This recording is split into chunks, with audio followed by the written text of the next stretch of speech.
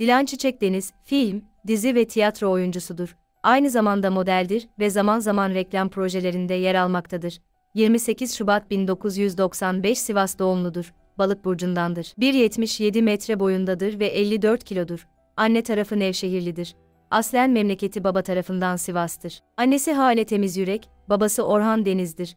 Annesiyle babası öğretmendir. Dilan Çiçek Deniz 8 yaşındayken annesiyle babası boşanmışlardır.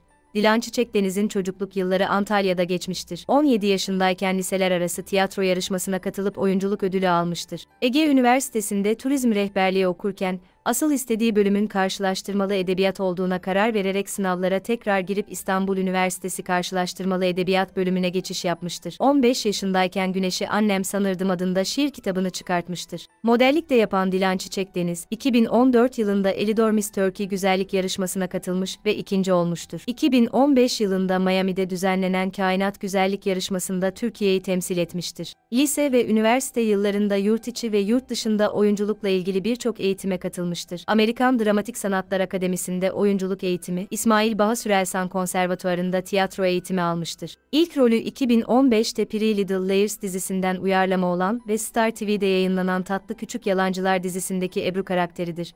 Dizide Bensu Soral, Şükrü Özyıldız, Alperen Duymaz, Beste Kökdemir, Büşra Develi, Burak Deniz ile birlikte oynamıştır. Fakat dizi, düşük reytinglerden dolayı 3 Ekim 2015 tarihinde 13. bölümüyle final yapmıştır. 2015, 2016 yılları arasında Kanal D'de yayınlanan Güneşin Kızları dizisine Elif karakteriyle dahil olmuştur. Ağustos 2016'da başlayıp Haziran 2017'de yayından kaldırılan Bodrum Masalı adlı dizide başrol oynamıştır. Show TV'de yayınlanan Çukur adlı dizide Aras Bulut İynemli ile iki sezon boyunca başrolü paylaşmıştır. 2016 yılında Panten Altın Kelebek'te Yıldızı Parlayan ödülüne layık görülmüştür. 2018 yılında Avon reklamında yer almıştır. 2020 yılında dijital içerik platformu olan Blue TV'de yayınlanan Yarım Kalan Aşklar dizisinde Elif Urazoğlu karakteriyle başrol oynamıştır. Aynı yıl Netflix filmi olan Yarına Tek Bilet filminde Leyla rolüyle yer almıştır. 5 Kasım 2020'de Show TV'de yayına başlayan ve bir sezon devam edip 27 Mayıs 2021'de 28. bölümüyle final yapan Alev Alev dizisinde 3 başrolden biri olan Rüya Yıldırımlar karakterine hayat vermiştir. 2021 yılında La Casa de Papel işbirliğiyle gerçekleşen Magnum reklamında yer almıştır. 2022 yılında Fox TV dizisi olan Kusursuz Kiracı dizisinde Mona karakterini canlandırmıştır. Aynı dönemde Kal filmi ve Aniden filminde yer alan başarılı oyuncu, 2022'den itibaren başrollerinde Selçuk Yöntem ve Tansu Biçer'in yer aldığı Amadeus tiyatro oyununda Konstanze karakterini canlandırmaktadır. Dilan Çiçek Deniz sosyal medyayı aktif bir şekilde kullanmaktadır.